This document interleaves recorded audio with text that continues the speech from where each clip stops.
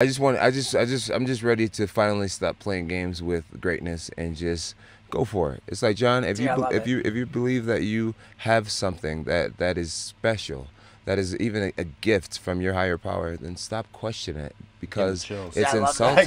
Chills, because it's insulting. It's insulting to the, your creator that you believe that he will put limitations on what he's giving sure. you.